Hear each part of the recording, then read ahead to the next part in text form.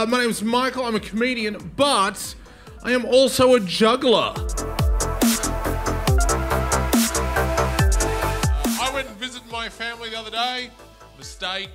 Uh, because every time I visit my parents, all they want me to do is fix their computer.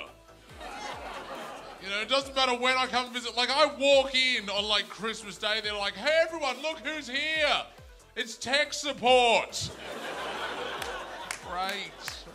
I play the harmonica. Uh, I'd like to play you a song I wrote myself.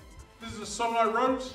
This song's called The Day After the Rock Concert.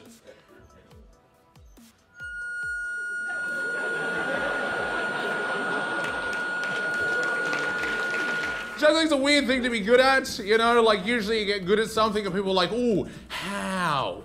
You know, how'd you learn to speak French? Or how'd you learn to play the piano? You know, you get good at juggling and people are like, why? no, really, the only good thing about juggling is that it teaches you how to learn, right? Basically, this is all I do.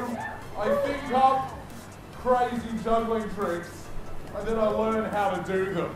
And I have friends that are always like, oh, Michael, work's so stupid. They make me learn this dumb new thing at work. And I'm like, mate, whatever you had to learn, trust me, I've learned something dumber.